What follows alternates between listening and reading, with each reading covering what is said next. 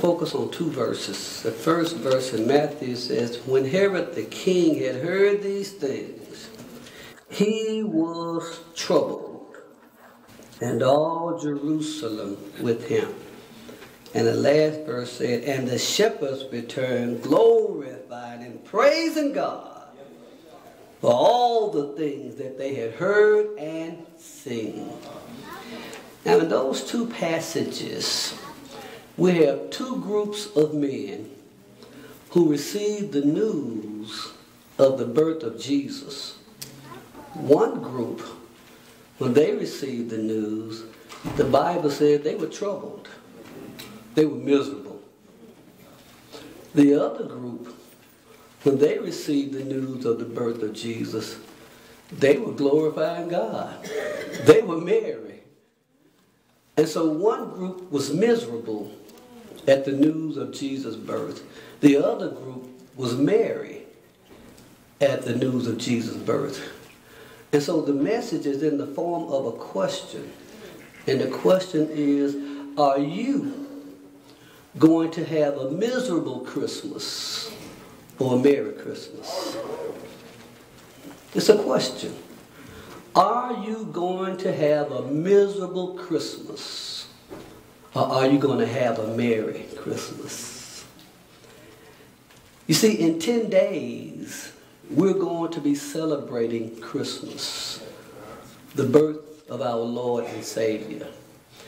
And everywhere we go, we see signs in the mall saying Happy Holidays and Merry Christmas. And people who don't normally speak at other times of the year will even nod and say Merry Christmas. But not everybody is going to have a Merry Christmas. The insurance industry says there are more suicides at this time of the year than at any other time. The social workers tell us that more people are depressed during the Christmas season than any other time of the year. For many, Christmas is a lonely time because it's a reminder of that loved one who's not there anymore. The alcohol industry are projecting sales of $60 million during the Christmas season. People are going to be drinking, either trying to have a Merry Christmas or trying to avoid a miserable Christmas. And there are some people who are going to be miserable not only for Christmas, but throughout the whole rest of the year for next year. Because they're going to be trying to pay off the high credit card debt they built up this year trying to buy a Merry Christmas. And so the question is to you. You need to answer the question now. It's up to you. Are you going to have a miserable Christmas? Or are you going to have a Merry Christmas? You see, if your Christmas joy is wrapped up in the number of presents that you're going to receive, then you're headed for a miserable Christmas. Because it's not the presents. It's not the days out of school. It's not the parties that are going to help you to have a merry Christmas. You see, at my house, I got lights all across the front of the house, all over the hedges. We spent two days decorating what I think is the prettiest tree in the city. And there's nothing under the tree. And there probably won't be anything under the tree. But every night I plug it in. Because I enjoy just looking at my tree. Because the tree is a reminder of what's going on this season.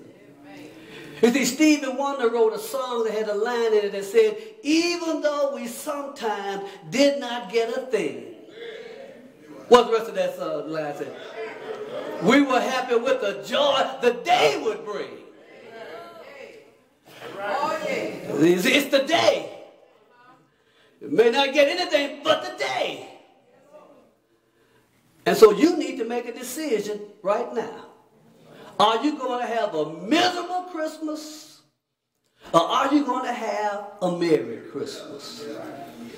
And if anybody should have had a Merry Christmas, it should have been the Jews. For 800 years, they had waited for a promised Messiah.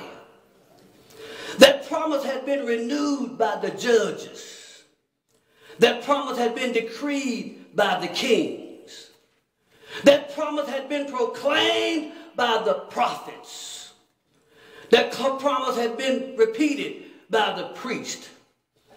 And that promise was passed on from generation to generation. And then for 400 years, from Malachi to Matthew, there was no word from heaven. But then in the fullness of time, God fulfilled his perfect promise and sent his son down through 42 generations, born in Bethlehem of Judea. And the Jews should have been having a Merry Christmas. But the Bible said that when Herod heard these things, he was troubled and all Jerusalem with him. Jesus had just been born. He hadn't even spoken a word. He hadn't taken his first step. He hadn't even worked a miracle. He had not preached his first sermon, but just the news of his birth caused Herod and Jerusalem to be troubled. See, a lot of folk are troubled when they hear about Jesus. Because again, they start thinking about the habits they got to break. They start thinking about the lifestyle they got to change. They start thinking about the things they got to give up. You see, the news of Jesus coming will make you miserable if you're not ready for his coming. And so, are you going to have a miserable Christmas? Or are you going to have a merry Christmas? You see, the Jews should have had a Merry Christmas. If anybody should have had a Merry Christmas, after waiting 800 years, and a Messiah comes, and instead of being merry, they had a miserable Christmas. And Luke says, in that same country, there were some shepherds. And shepherds were considered outcast. Shepherds were considered unclean. Shepherds were not allowed to enter the temple. A shepherd was considered untrustworthy. A shepherd couldn't even testify in a court of law. And Luke said there were some shepherds who had their abiding in the fields. In other words, the shepherds were outside. They were outside the interaction of the Jewish community. They were outside of the relationship with their families. They had their abiding outside. You know, in every family, they got some folk who have their abiding outside. They might be living in the same house, but they're outside the relationship with the rest of the family. Sometimes we call them the black sheep of the family. They're outside of interaction with the family. Every day we pass by folk who have their abiding outside. We call them homeless people. And folk that pass right on by don't want to be bothered with them. But even in the midst of a crowded city, they have their abiding outside. And even in the church, there are some folk who abide outside. Yes, they attend service on Sunday, but they're outside of the relationship of the body. They don't take time to fellowship with the rest of the body. As soon as the benediction is said, they hurry on out the door, never stopping the fellowship. I tell you, they're outside of the body. And so while these shepherds were outside, the Bible says an angel of the Lord appeared unto the shepherds. And the shepherds were sore afraid. In other words, they were greatly afraid. They were shaking in their boots. They were miserable. Fear will make you miserable. Fear will cause you to lose sleep. Fear will cause you to have ulcers. Fear will make you do things that you know you ought not to do. Fear will make you deny Jesus.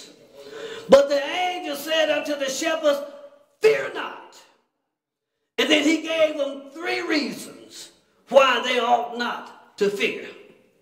The first reason he said, Fear not, is because he said, Unto you not to the priest in the temple, not to the king in the castle, not to those who enjoy the comfort of the inn, but to you.